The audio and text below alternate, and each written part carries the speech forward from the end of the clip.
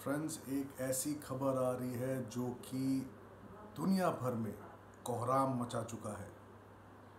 आप लोग देख रहे हैं कि किस तरह से कोरोना ने पूरे देश भर में, इनफैक्ट पूरे वर्ल्ड में कोहराम मचाया हुआ है, कहर मचा रखी है। इस बीच एक खबर आ रही है जो मैं आप लोगों के साथ शेयर कर रहा हूँ। हालाँकि चाइना इस पर कोई भी ऑफिशियल कंफर्मेशन नहीं देता ऑब्वियस है, देगा भी नहीं, लेकिन एक बड़ी खबर आ रही है related to the corona virus जो कि उत्पाद किया गया है चाइना से, ये खबर है जो मैं आप लोगों के साथ शेयर कर रहा हूँ। खबर ये आ रही है कि चाइना के वुहान से एक अंग्रेज़ी खबर ने खुलासा किया कि जिससे हर कोई हैरान है, दावा किया जा रहा है कि चीनी सेना ने कई खुफिया प्रोजेक्ट में वुहान लैब ने मदद की है। साथ ही उनके लिए कई जानवरों के खतरनाक वायरस भी खोजे हैं। बताया जा रहा है कि पिछले नौ साल से लैब वैज्ञानिक नए वायरस की खोज और बीमारी फैलाने में शामिल जीव विज्ञान के डार्क मैटर पर रिसर्च कर रहे थे। इसमें चीनी सैन्य अधिकारी भी शामिल हैं। गौरतलब है कि पिछले साल जनवरी में एक चीनी वैज्ञानिक ने जनरल प्रकाशित की थी, जिसमें बताया गया था कि तीन साल में यहाँ पर एक नई बीमारियों की खोज की गई है। चीन के वुहान लैब में वैज्ञानिकों ने जानवरों के वायरस खोजने के लिए चीनी सेना की मदद ली थी। रिपोर्ट में खुलासा हुआ है कि इसमें पाँच टीम लीडरों में श्री जंगली उर्फ़ बैटवुमन और एक वरिष्ठ सैन्य अधिकारी काओ यूचुन भी सैंपल खोजने के लिए गुफाओं में गए थे। अमेरिका के वेंडन इंस्टीट्यूट ऑफ़ वायरोलॉजी का आरोप है कि इस तरह के वायरस फैलाने में चीन के नागरिक और सेना दोनों शामिल हैं। चीन पर हमले से ही आरोप है कि वुहान लैब से कोरोना वायरस फैला है, लेकिन चीन इसको मानने को तैयार नहीं है।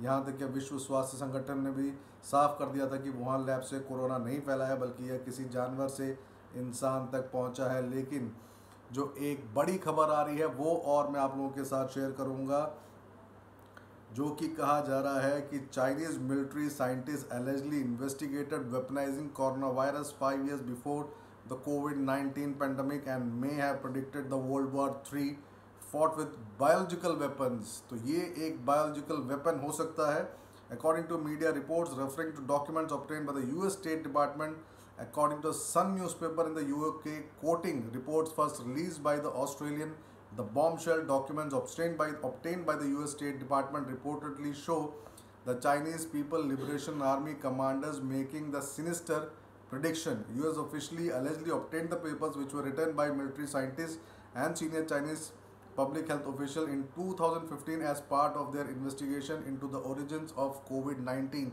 तो ये एक बड़ा मामला सामने आया है इसमें कई तथ्य हैं अब ये देखना और समझना होगा कि इन तथ्यों में कितनी सच्चाई है लेकिन जिस तरह से आपने देखा कि वुहान से इस वायरस की उत्पत्ति हुई है, ये कई बार खबर आई है, लेकिन हालाँकि चाइना ने इस पर हमेशा कोई भी ऑफिशियल कंफर्मेशन नहीं दिया और ना ही देंगे।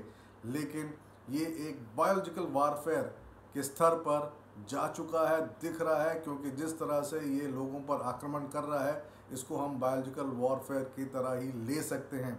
तो आने वाले दिनों में देखना होगा कि दुनिया की सारी कंट्रीज़ मिलकर चाइना पर कोई एक्शन कर पाती हैं या नहीं कर पाती हैं, या कुछ एक्शन लिया जाएगा या नहीं लिया जाएगा, ये एक बड़ा मामला सामने आया जो मैंने आप लोगों के साथ शेयर करी। फ़िलहाल इतना ही, कुछ और खबरों के साथ फिर थोड़ी देर में जुड़ूँगा।